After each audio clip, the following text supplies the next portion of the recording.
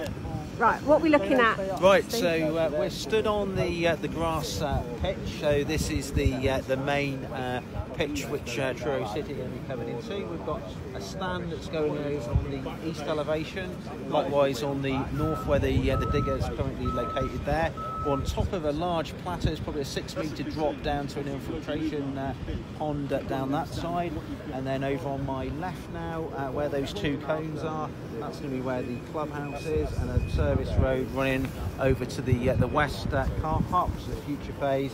And up on the top slope on the south elevation, that's going to be the all-weather community pitch Right, so Truro City are going to be playing on uh, the grass uh, pitch here, and Threemilestone AFC. up on the uh, the all-weather.